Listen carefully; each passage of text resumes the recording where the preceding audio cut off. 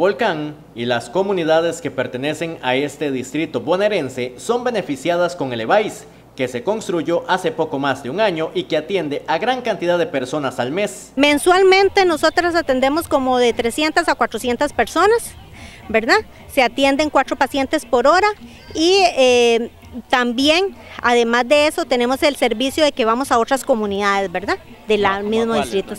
Nosotros visitamos Cordoncillo, Altamira, Convento y Peje, que son las, las comunidades de nosotros, y damos el servicio también a esas diferentes comunidades, brindando de una vez el servicio de farmacia, y es que son varios los padecimientos que se atienden en este centro médico. Atendemos lo que es las eh, enfermedades eh, crónicas, hipertensos, diabéticos, embarazaditas, eh, control de niños sano, tenemos el proyecto de Mesoamérica para adolescentes, tenemos campañas de Papa Nicolau, tenemos diferentes enfermedades crónicas a, las que les damos el control, asmáticos, epilépticos.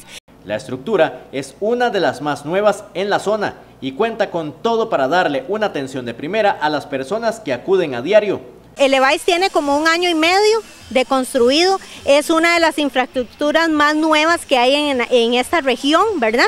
Lo que es el área de Buenos Aires, el área de salud Buenos Aires, y cuenta con unas instalaciones eh, con todo el equipamiento, viene todo el equipo nuevo.